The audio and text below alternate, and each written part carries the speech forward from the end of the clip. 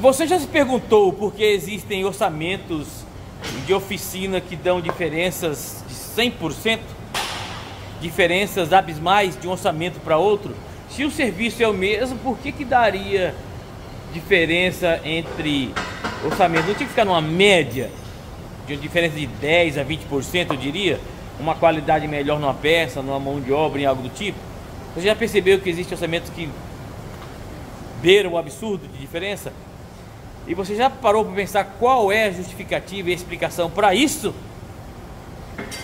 Temos um belíssimo exemplo aqui nesse Nissan March, cliente nosso, trouxe aqui, já era cliente antigo, falou, ah, agora vocês estão na internet, aí vamos ver se vocês acham o barulho desse carro.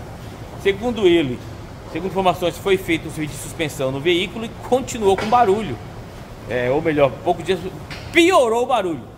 Foi feito serviço de suspensão e o barulho piorou passou alguns dias. Ele trouxe novamente aqui, a gente levantou o carro. Primeiro pulso que é que é? Se foi feito em suspensão, a gente já imagina que pode ser algo complicado de achar, né? Porque às vezes a, a o serviço de suspensão é, trocou alguma peça, enfim. Será que foi amortecedor? O que, que aconteceu no veículo? Gente, foi um dos serviços mais fáceis de suspensão para descobrir o defeito. Vamos lá que eu vou mostrar para vocês. Numa velocidade Nissan March 314, certo? É um veículo é, japonês, honesto. Duas bandejas novas vamos colocar nele. Por quê? Vou mostrar aqui para vocês agora o problema e a diferença entre orçamentos. Olha isso aqui, a bandeja que estava lá. Olha isso aqui.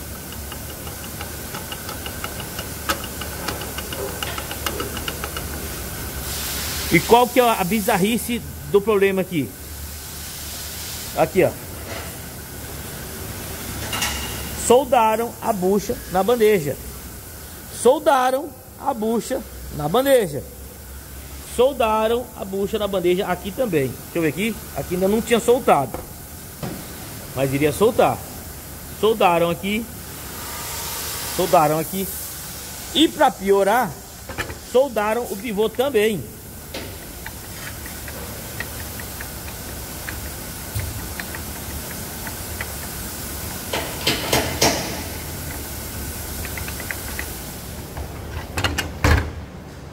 Amassaram a bucha para instalar.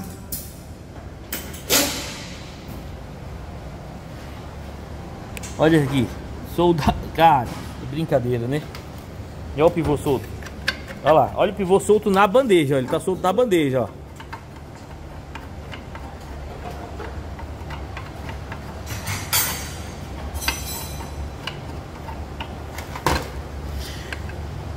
Vocês estão vendo aí? Este serviço, se ele fosse feito aqui de início, já seria condenado às, bandejas, certo? Mas a gente, o, nós temos aquela tendência de aquela tendência de ir pelo preço. Não, mas tem garantia. Tá, tem garantia, mas adiantou o quê? Passou três meses, tem que trocar as bandejas. Agora vai ter que trocar as bandejas aí, ó. Bandejas novas.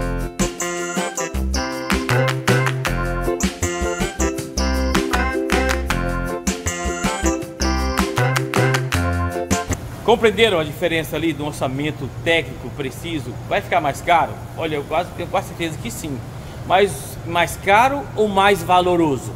Ele tem preço ou ele tem valor? Um orçamento assertivo, tocando a pressa necessária, não importando o, o valor, é melhor ou é pior? Foi gasto uma mão de obra, foi gasto solda, peça, bucha, pivô, alinhamento, há pouco tempo atrás e agora novamente vai ter que fazer esse gasto novamente, mão de obra, as peças, alinhamento. Ficou barato, ficou mais barato mesmo, você tem certeza que, que fazer aquelas gambiarras que vocês viram ali fica mais barato? Então muitas vezes as pessoas vão só no preço, só no valor monetário da coisa, só no vil metal e não vê o valor de uma mão de obra de um serviço qualificado não vê a diferença entre uma peça, um, um serviço trocado de maneira correta com uma, aquela coisa ali. Deu certo, deu certo, mas não é certo. Existem mecânicos que fazem o que dá certo, não fazem o que é certo. Deu certo momentaneamente soldar aquele pivô, soldar as buchas. Deu certo momentaneamente, mas não é certo fazer aquilo. Existem mecânicos que sabem fazer um serviço, existem os que conseguem. Você tem que procurar os mecânicos que sabem fazer o serviço e que fazem o que é certo. E não aqueles que fazem o que dá certo porque conseguem fazer um serviço. Aquilo ali o cara conseguiu fazer o serviço e fez o que deu certo, entregou para o cliente. Ele se, talvez fez um, um, um, orçamento em outro lugar, achou isso mais barato, fez lá. Não estou dizendo que é o caso aqui desse cliente, certo? Estou dizendo para vocês que aquilo ali é um absurdo e é, é, chega a ser bizarro a gente ainda ver mecânico fazer esse tipo de, de, de coisa ali num pivô. Aí chega a ser bizarro. Claro, existem momentos que você dá um pingo de solda por dentro da bucha, certo? Quando é novo, uma outra peça, um pivô, alguma coisa eu sei, principalmente de caminhonete. Mas de carro pequeno assim, senhoras e senhores, soldar pivô, soldar bucha, nossa, não, não fecha.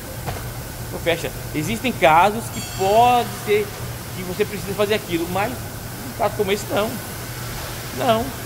Agora eu vou colocar duas bandejas novas, alinhar e resolve o problema do cliente. Sem falar no perigo. Se existe uma peça perigosa na suspensão, chama-se pivô. E se ele escapar, você fica sem direção. Então pivô, não se pode brincar com pivô.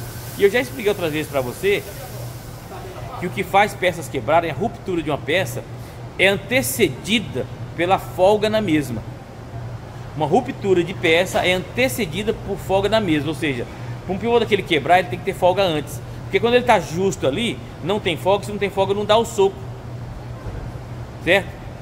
Quando está folgado, aquele intervalo da folga vem uma pancada seca maior e aí a ruptura da peça. E aí a coisa pode ficar bem mais perigosa ainda, você ficar sem o controle do veículo por causa do serviço. Eu não estou nem falando que o cliente optou por isso. Talvez ele pode ter sido enganado. Talvez o mecânico prometeu duas bandejas novas e soldou as dele. Não sei. Realmente, só que aquela taxa que eu falo para vocês, gente 20%, entre 10 e 20% dos mecânicos são mala, verdade. Mas temos 80% de mecânicos bons, honestos, trabalhadores. E essa taxa de 20% é um princípio de Pareto. O princípio de Pareto é 80-20, certo?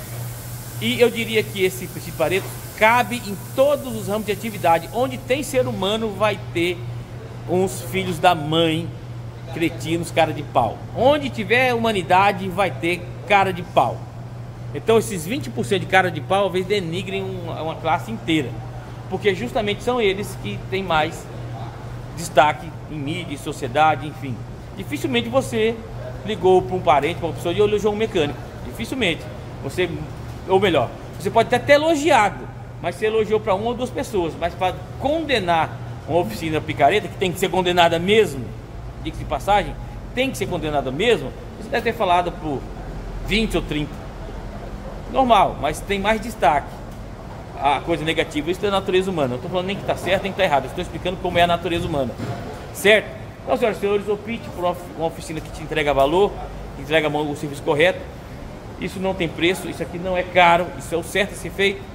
Afinal de contas, está você e sua família ali dentro. Vai botar em risco por alguns centenas de reais na sua vida? Não vai, né? Gostou desse vídeo aí? um vídeo para você entender o que, que é serviço, o que, que é mão de obra, o que, que é valor, o que, que é preço, aonde você tem que levar o pitch pelo melhor para o seu carro, para sua família, para sua saúde, para tudo, senhores. Agora ficou caro, porque vai ter que fazer o serviço certo, trocar a bandeja e mais a despesa que teve anterior fazendo aquelas soldas ali. Tranquilo?